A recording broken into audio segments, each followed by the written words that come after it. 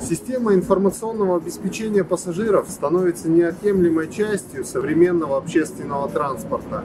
Приглашаю вас посмотреть обзор видеосистемы первого маршрутного телевидения, которая позволяет пассажирам пути следования получать информацию о маршруте следования, остановках, угрозе возникновения чрезвычайных ситуаций и не скучно провести время, посмотрев городские новости.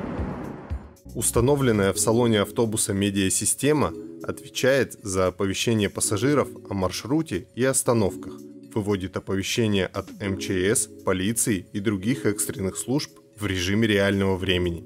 Экраны первого маршрутного телевидения показывают информацию о погоде, направлении движения автобуса, текущих и следующих остановках, а также информационный и новостной контент.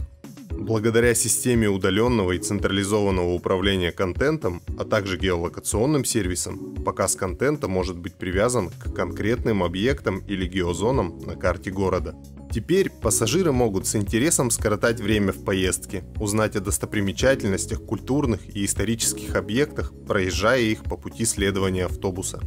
Устройства призваны повысить уровень информированности пассажиров и облегчить их ориентирование на маршруте, а также служат прямым каналом коммуникации городских властей с массовой аудиторией пассажиров городского транспорта.